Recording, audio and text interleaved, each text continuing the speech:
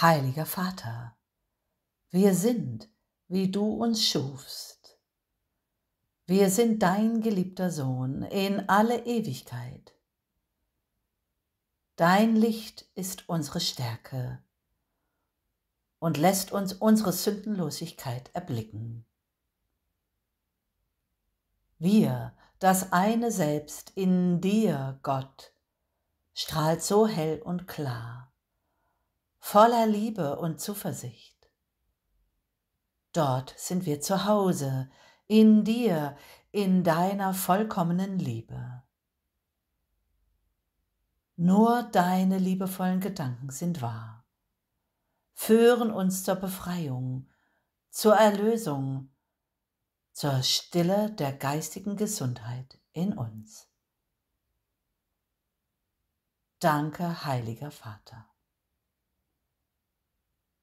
Amen.